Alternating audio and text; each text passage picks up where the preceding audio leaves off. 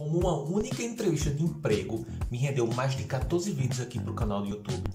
Me deu uma certificação com uma pontuação de 90% melhor do que todo mundo que já fez esse tipo de certificação. Me deixou no segundo lugar no ranking do Brasil, me ajudou a passar no emprego atual e hoje eu vou te mostrar como você terá o maior proveito das suas entrevistas, quais os benefícios que isso tem e por que você deve olhar isso com bons olhos, certo? Se liga aqui comigo.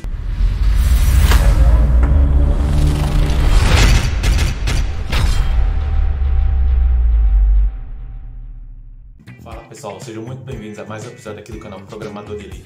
Se você caiu aqui de paraquedas, meu nome é Ricardo Ferreira, idealizador aqui do canal, e tem como meta te ajudar a conseguir o job, o emprego dos teus sonhos no menor espaço de tempo possível, certo? Então se você ainda não me segue, já deixa teu like e já aproveita e se inscreve, tá? Para você não perder os conteúdos que vem por aí. Mas bem, é isso mesmo que você viu no thumbnail, na miniatura desse vídeo. Eu fui certificado durante a entrevista. Ganhei um certificado na linguagem de programação Java para a versão 8. O melhor de tudo, não tive que pagar nada e nem eu mesmo acreditei nisso. Tanto é que eu saí falando para todo mundo na época que eu estava no Brasil, conversei com os amigos do, do, do trabalho e ninguém acreditou.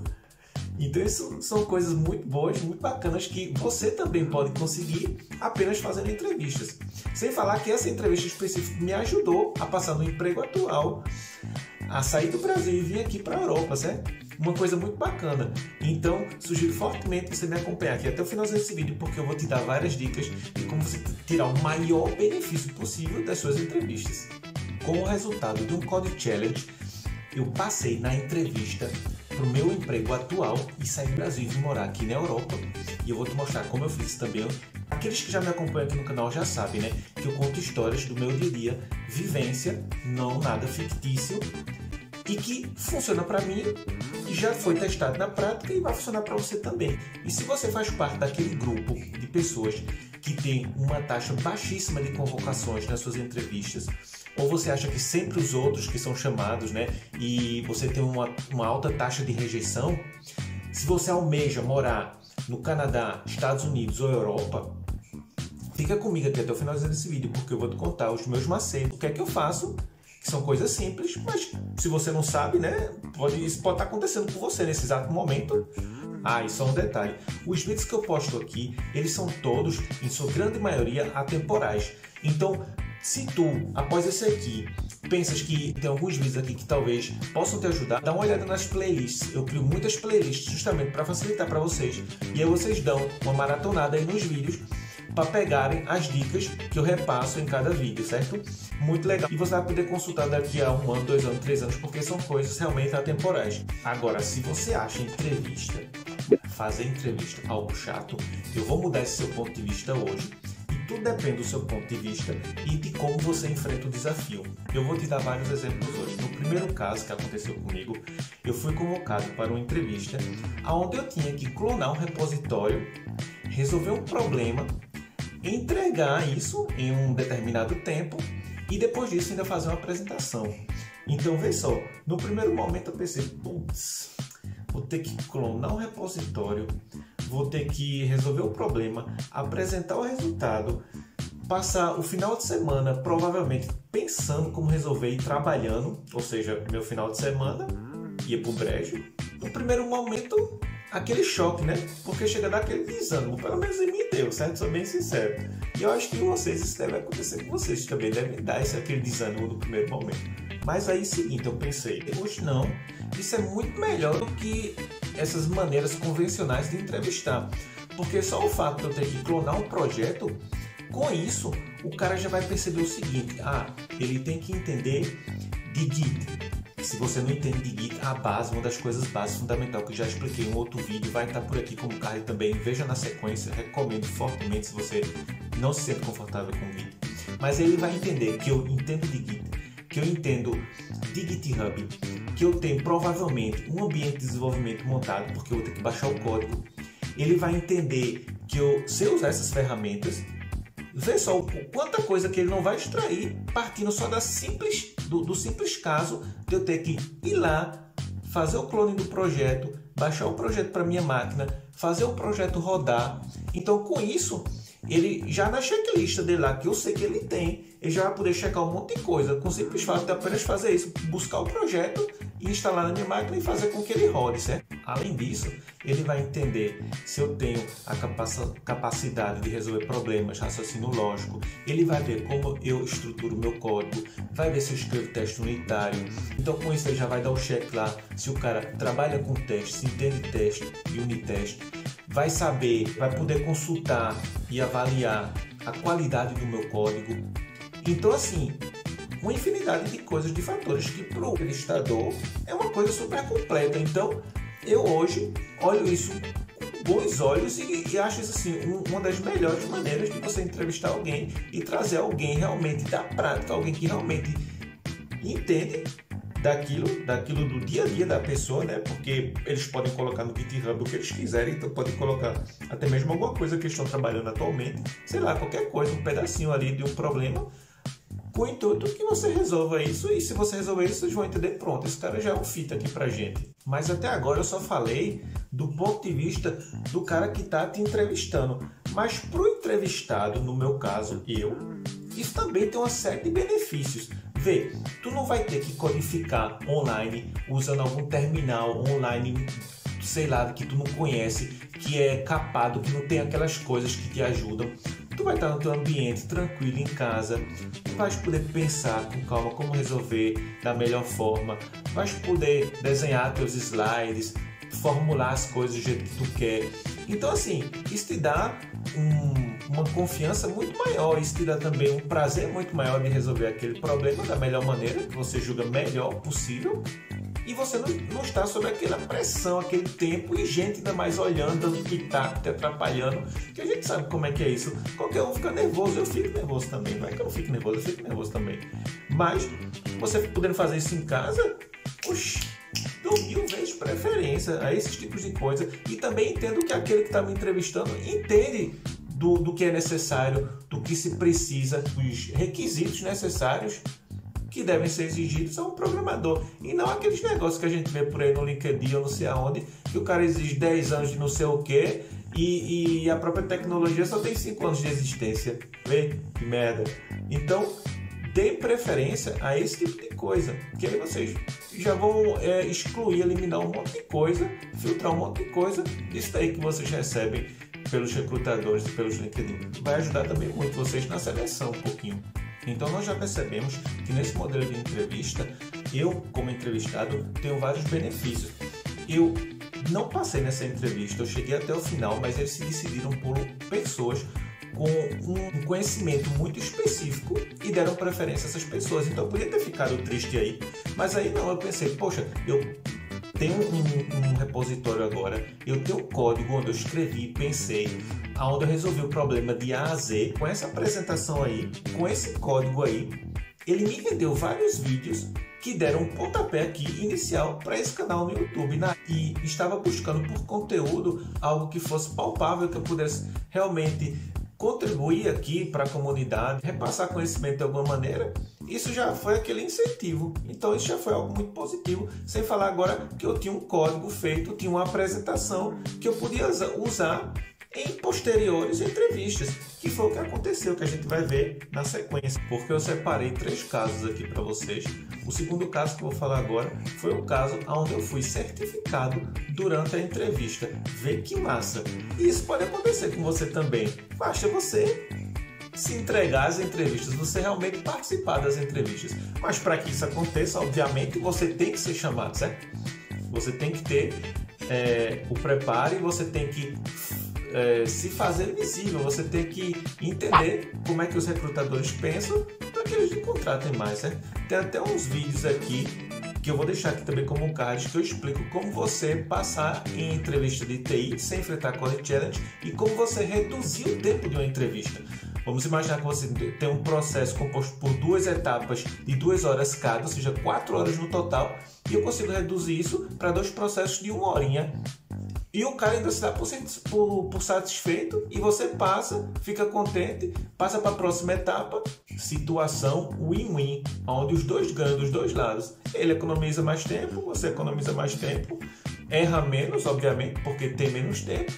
Então, se você ele tem menos tempo para te perguntar, você vai errar, obviamente, muito menos. Vou deixar esses vídeos aqui como card para você olhar na sequência no finalzinho desse vídeo, tá?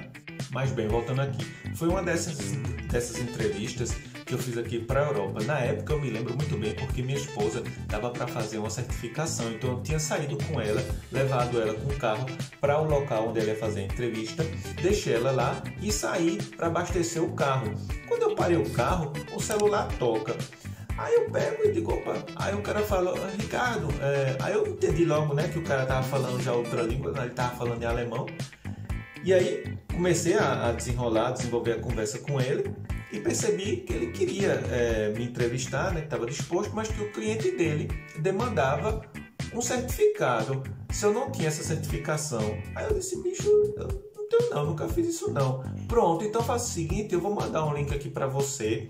Você faz essa certificação, porque isso é um pré-requisito que vai constar que você tem essas habilidades, que você tem esse conhecimento, você paga e eu lhe reembolso no final, independente do resultado. Vê que massa! Eu fiquei isento dos custos, pude participar de uma certificação e o cara ainda me pagou o dinheiro, ainda me deu o dinheiro de volta. Ou seja, uma situação win-win das tops, entendeu? Que você só sonha, né? Assim, é como se alguém chegasse e dissesse, bicho, é, faz aí tal coisa, eu te pago, independente do resultado. Vê que massa. Eu só sei que a ligação durou uns 45 minutos. No final, ele fez, ele acabou resumindo tudo, a gente fez aquele small talk e eles que tinham gostado bastante de mim. E aí eu pensei, putz, lá vem mais uma daqueles, mais um daqueles Scott Challenge, que você perde mais um final de semana. E eu fiquei pensando, tanto é que eu me lembro muito bem que quando eu saí é, desse telefonema, né, que eu tinha abastecido e tinha continuado para o trabalho, cheguei no trabalho, eu comentei lá com os, os amigos do trabalho, o valor era em dólar, não me lembro mais quanto era exatamente, mas era um valor significativo. Não sei se era 60, 80 dólares, alguma coisa assim. Eu sei que eu tinha que pagar e o cara disse que ia, que ia me reembolsar. Então, assim, eu também acreditei na palavra do cara, né? Podia não ter me reembolsado. E aí eu me lembro que lá no trabalho o pessoal disse: bicho, tu não vai perder nada. É, a única coisa que pode acontecer é tu fazer a prova por não estar totalmente preparado, não se sentir totalmente preparado, e a prova, sei lá, o resultado for ruim, e aí tu vai ter um resultado ruim, o cara vai te reembolsar, mas ele não vai te contratar e vai ficar lá com o resultado ruim. Mas no mais tu não tem nada a perder, então meta a cara e vai embora. Aí eu ainda demorei um, dois dias, fiquei pensando, e no final das contas eu resolvi, eu botei na minha cabeça, na minha cabeça que eu disse, pronto, agora vai o racha. Eu vou fazer esse negócio. E para vocês verem como as coisas são, eu já vim me preparando para essa, não exatamente para essa certificação, era para Java 8, a gente usava Java 6, se eu não me engano, e o Java 8 já tinha trazido um monte de coisa assim, é, entraram os streams, é, Lambda, é, um pouquinho de linguagem funcional e Java estava se desenvolvendo assim numa direção legal e eu tinha nesse ano apostado em duas linguagens específicas. Enquanto todo mundo estava apostando em Ruby, que depois Ruby logo na, na, na sequência caiu bastante, eu apostei em Java e JavaScript, porque eu tinha certeza que as duas iam pegar o turnaround, que elas iam subir de novo e JavaScript já estava assim no hype, estava subindo. E Python estava chegando, assim, estava na cola. E eu disse, não, vou deixar Python para depois.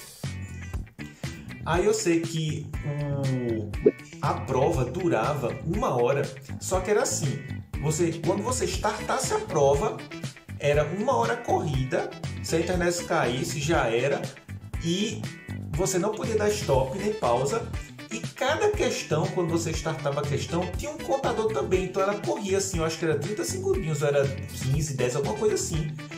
Para não te dar nem tempo e você fazer uma consulta no Google. Se você tivesse um computador aberto do lado e você pensasse, ah, eu vi a questão, você digitava lá a questão, né? Tentava, sei lá, hackear de algum jeito, ou tentar burlar de algum jeito não tinha nem tempo para isso, porque no momento que você fosse abrir o Google, pesquisar, botar lá, entender a, a, as respostas e tentar buscar uma coisa, o tempo já tinha acabado e a, aquela questão era dada como não concluída e você não acertava. Também não perdia nenhum ponto, mas não acertava.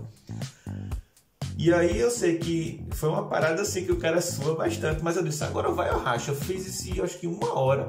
À noite cheguei do trabalho, tomei meu. fiz um jantarzinho, comi alguma coisa. Eu acho que lá por volta das 8, 9 fui fazer esse teste.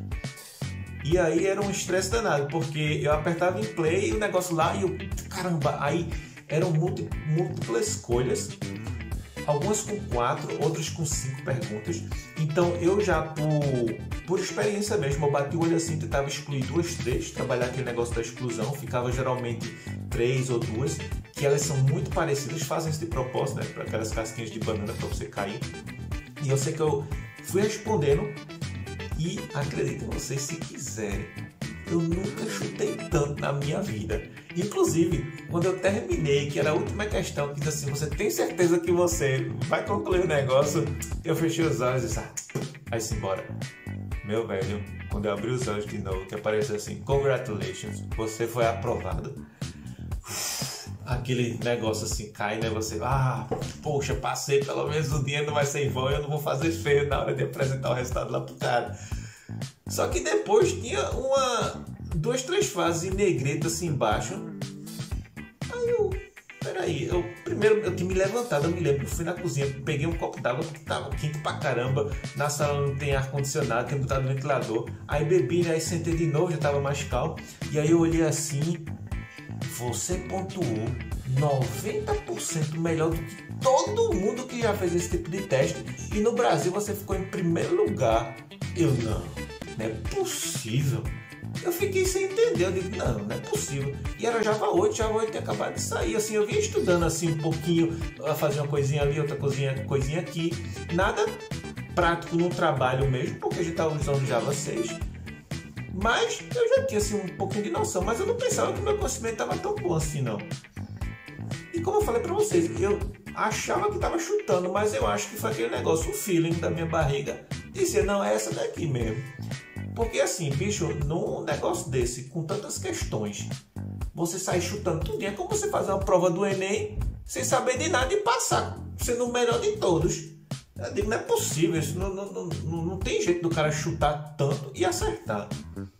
E aí eu cheguei no outro dia e conversei com, com, os amigos lá do trabalho, falei pra todo mundo, e os caras, eita, massa, não sei o que, me parabenizaram e tal. E eu sem querer acreditar nisso, tá ligado? E aí ficou aquele negócio, nossa, será que o cara vai me reembolsar? Será que o cara vai me reembolsar? O cara me reembolsou, recebi a certificação, que eu vou mostrar aqui pra vocês, vai aparecer aqui em algum lugar. E super recomendo vocês enxergarem as entrevistas de vocês assim, com bons olhos e abraçarem esse desafio, porque os benefícios que vocês têm disso são enormes. Esse foi apenas o segundo caso. E agora vamos para o terceiro caso. Um caso também muito interessante, muito legal. E como se isso não fosse suficiente, agora vem um terceiro caso, que foi o caso onde eu passei na entrevista atual, onde eu estou agora, graças aos resultados de uma outra entrevista que eu já tinha, certo? A, ao código que eu tinha, uma apresentação que eu tinha. E que se você não viu ainda, sugiro você assistir fortemente. Vou deixar aqui também como card que se chama Como Passar a Entrevista do TI sem enfrentar o Code Challenge. Um vídeo muito hilário, onde eu passei por vários constrangimentos, pelo menos eu julgo constrangimentos, e você vai rir bastante.